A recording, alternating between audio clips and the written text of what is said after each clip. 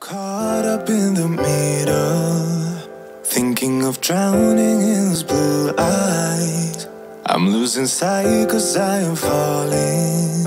I'm so deep down, deep down, and it's not a lie.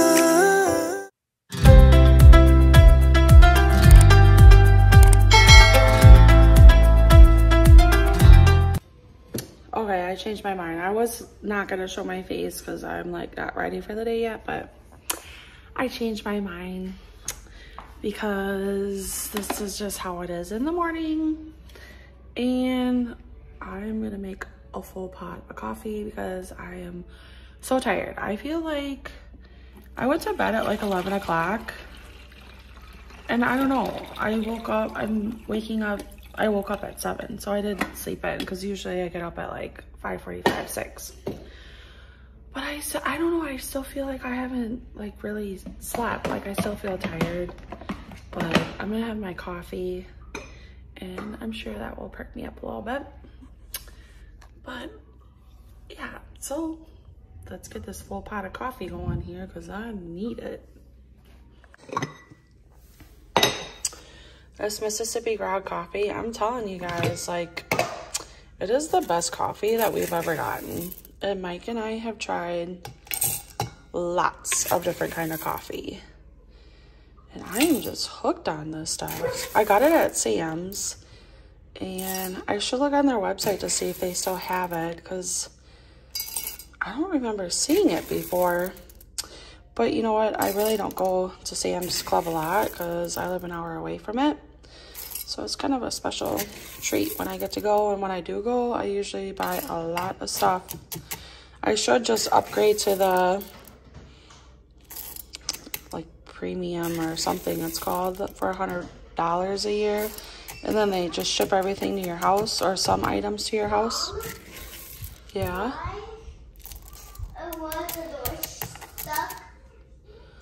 Well, because the TV was loud.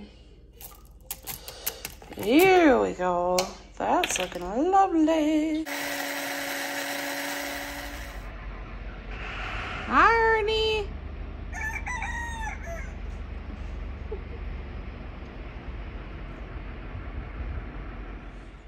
So I picked up three of these buttermilk biscuits at Walmart. And what you're gonna do is you're gonna lay them out, cut them into four sections, try to make them as equal as possible. And then we're gonna put them in a bowl with one cup sugar and two teaspoons of cinnamon or pumpkin pie spice.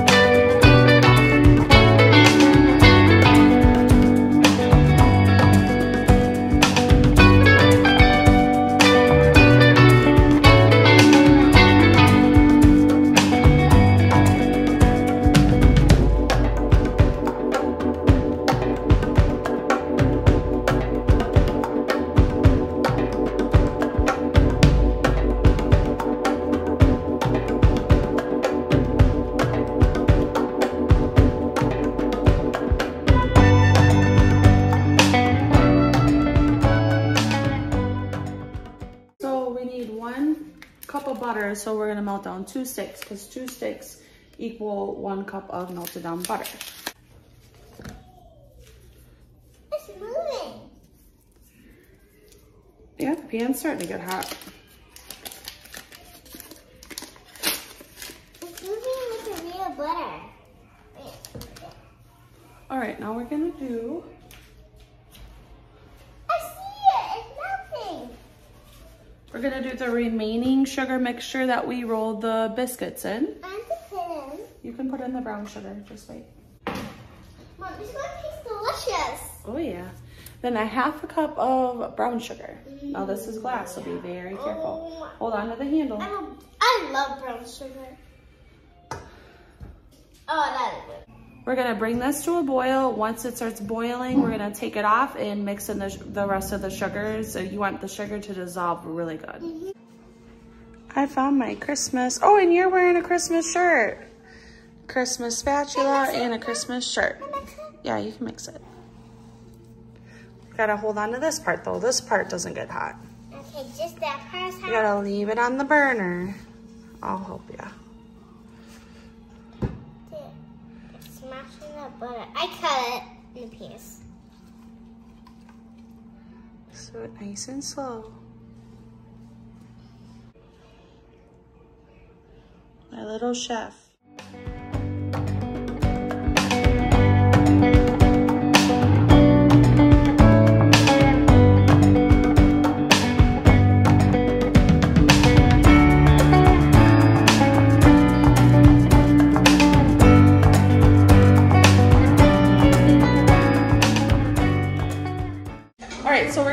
This in oven at 350 degrees and bake it for 30 minutes.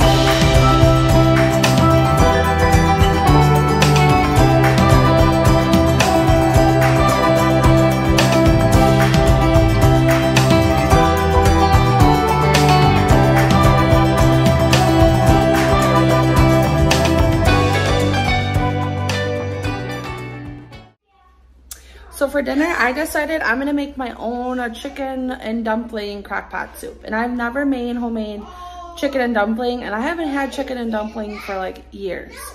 So I was just looking through some recipes and I'm like, I'm gonna try making that. So I'm gonna get this started in the crock pot and then we're gonna leave for a little bit. We're gonna go ch- check out this turkey farm and see how much they want for a turkey. So I think it's like 10 minutes from our house. There's this um, farmer that has like 20 turkeys walking around everywhere. And we're gonna see if he's selling them, which I'm sure, I'm sure he does sell them, but we wanna go price one and see if we can get one for Thanksgiving. Otherwise, I usually use one of my meat birds for Thanksgiving dinner instead of turkey, but I was like, let's go check out that turkey farm and try to get one.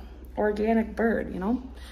All right, well, I'm gonna get started on dinner. It is, oh, my glasses on. It's 11.30, so I'm gonna get this going.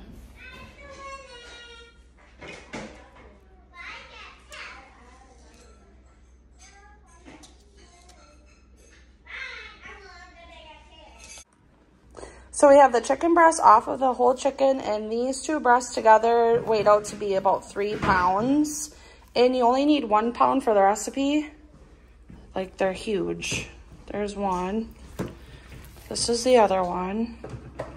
So I'm, I'm gonna use one of these and so they're both about one and a half pounds. So yeah, we'll have to th think of something else to do with this guy or one of them for a different night.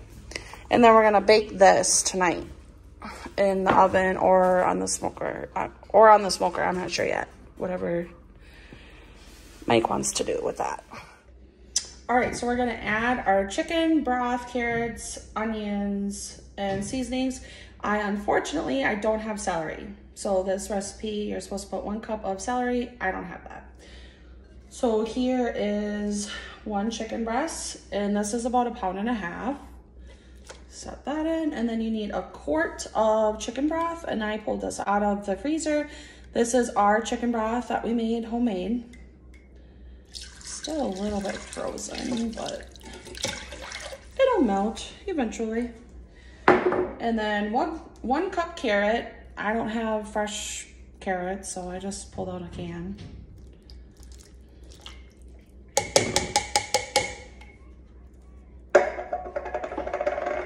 One cup of diced yellow onion. There's that. And then I have the seasoning grinder. It has a bunch of different seasoning in it.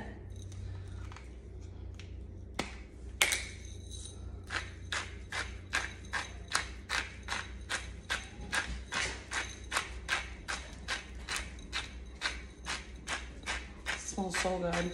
I got this from Sam's Club also. I wonder if it says all the ingredients. It does. Dried garlic, salt, dried onion, spices, dried chili pepper, basil, oregano, rosemary, sage, and thyme. And it has pepper. It does have black pepper in it too. I'm just gonna add a little bit of extra salt. So like I said, if you're gonna cook the chicken on high, do it for three hours, low for seven hours. I'm gonna do ours on low because we're about to leave. What, baby? Okay, hold on. Through the snow, bells are jingling, snowflakes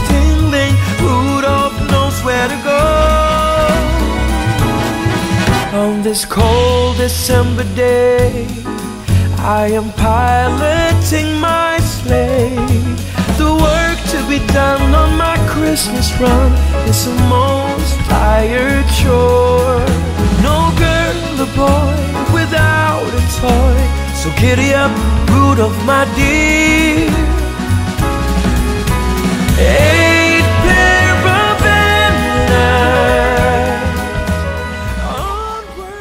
Antennae. We're gonna go plant Sissy's uh, nuts that she got the other day for the squirrels. Where's a good spot? Nope, not there.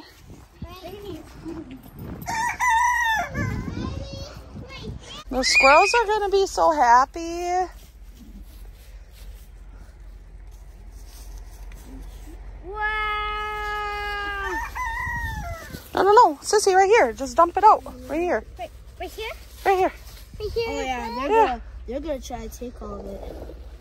Ooh, they're gonna be so happy. yeah, want to try? Okay, leave them there. Leave, leave them there. Okay, good job. We'll see if we can see some squirrels later on, okay? So we are on our way to the turkey farm and hopefully we can bring one home today. I'm thinking not because they're gonna have to butcher it and do a bunch of stuff with it. So maybe just order one today. Um, these guys are excited though to see all the turkeys, Yay! aren't ya? Yeah, Yeah, yeah. it's gonna be fun. But yeah, got our camo gear on. Me and Mike has have matching shirts. You can't see his though, cause okay, there you go. Yeah, you can see it. Um, but yeah, hopefully we can show you guys some turkeys, cause they have a bunch of them.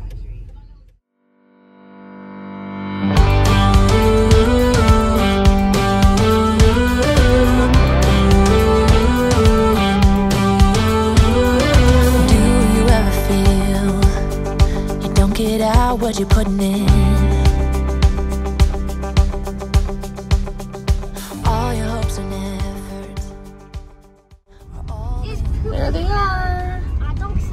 They're everywhere, all over the yard. They're chickens.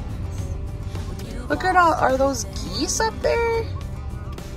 Oh, those are turkeys.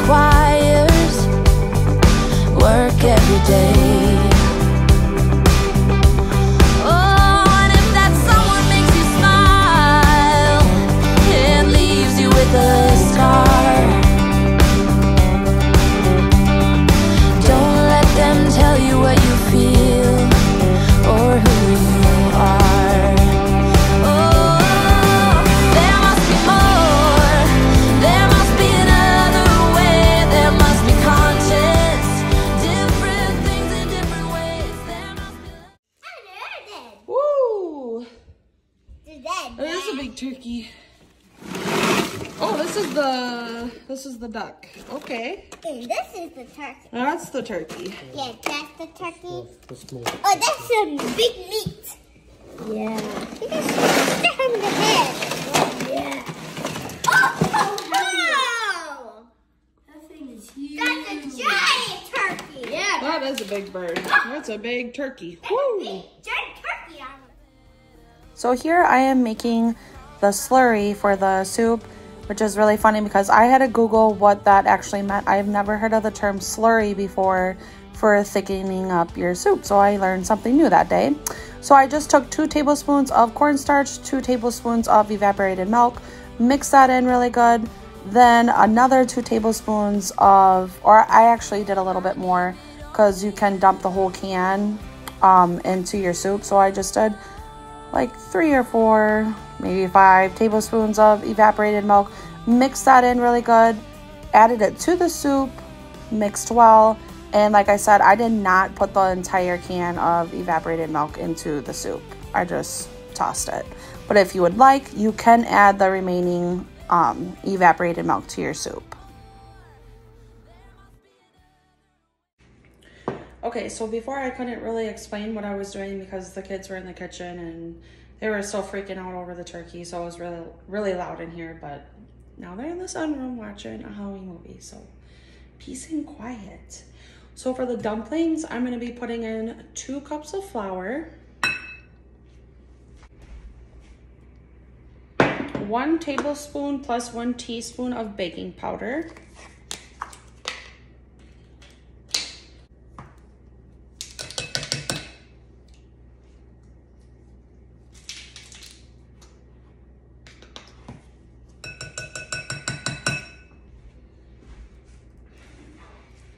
teaspoon of salt.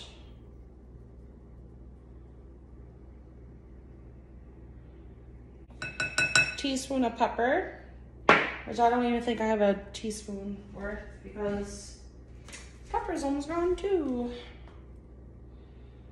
One tablespoon of fresh thyme. I do not have that, so I'm just gonna use my seasoned grinder, just a little bit.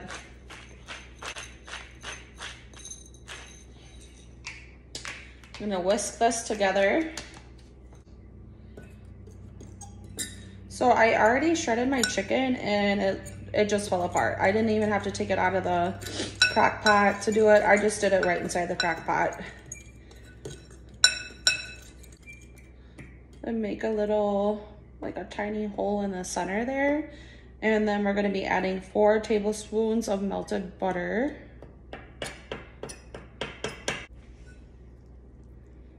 Three fourth cup of whole milk, and I do not have whole milk, so I'm just gonna be using 2% milk.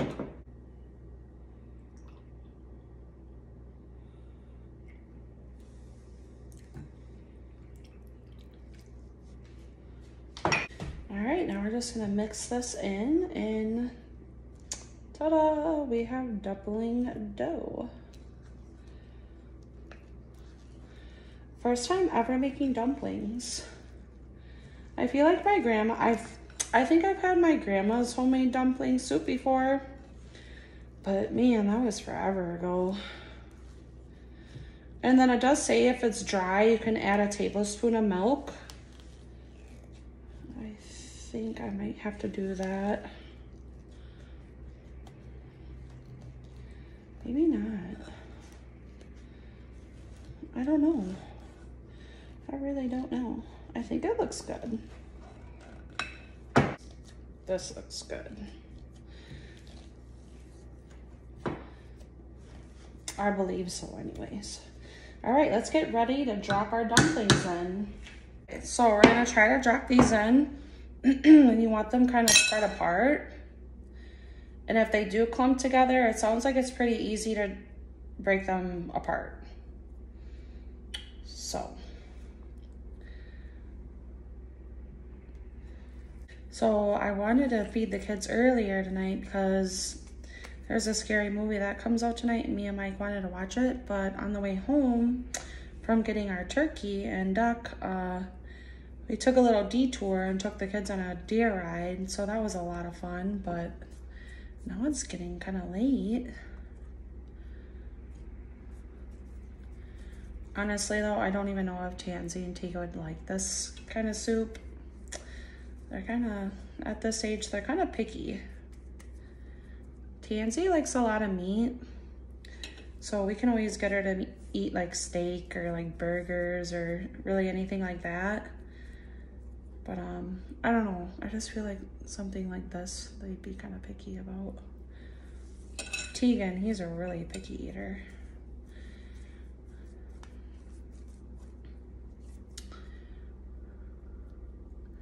Yeah, this really makes a lot. Yikes. So it says in the recipe to push the dumplings down so the soup is over them, like that. And then you cover this, cook it for an hour. After an hour, take one dumpling out, cut into it, and see if they're cooked through all the way. Maybe I should crank it up on high. Really want to like overcook the chicken though either. Yeah, well, it's okay. Some of them I made a little bit bigger than others, but I wish my mom was here. She would love to try this. So I just kind of like push them down under the soup. And then we'll check back in an hour to see if they are done. Definitely comfort food right here. It looks so good.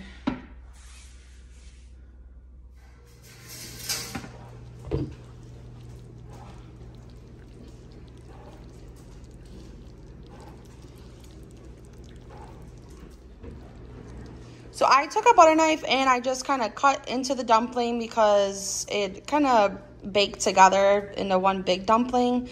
So I just took a knife and kind of broke it apart and then I just peeled one back and it looks like that it's done. So we're gonna eat. It's kind of late and I hope you guys try this recipe and I will talk to you tomorrow.